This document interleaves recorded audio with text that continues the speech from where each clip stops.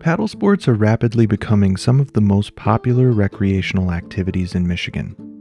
However, invasive organisms can be accidentally spread by unsuspecting paddlers.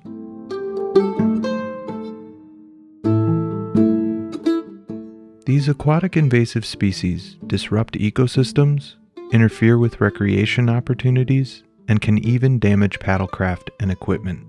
Paddlers play a critical role in helping to prevent the spread of aquatic invasive species.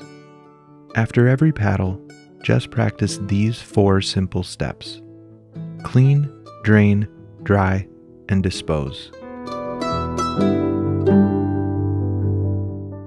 First, remove your paddlecraft and gear from the water.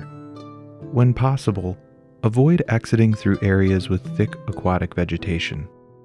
Bring your equipment away from the water's edge and remove all plants, mud, and debris from your hull, rudder, paddle, and any other gear.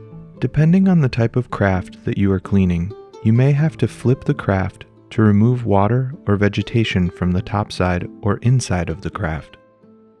With all of the water out of the craft and all of the obvious debris removed from the outside, spray the craft surfaces with a bleach or vinegar solution, 1 part bleach to 10 parts water, or 1 part vinegar to 1 part water, and rub down with a clean rag.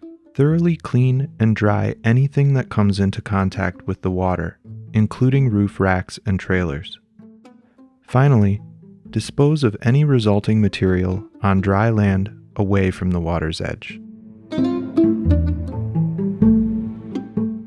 These few simple steps make a big difference in the health and enjoyment of our waterways.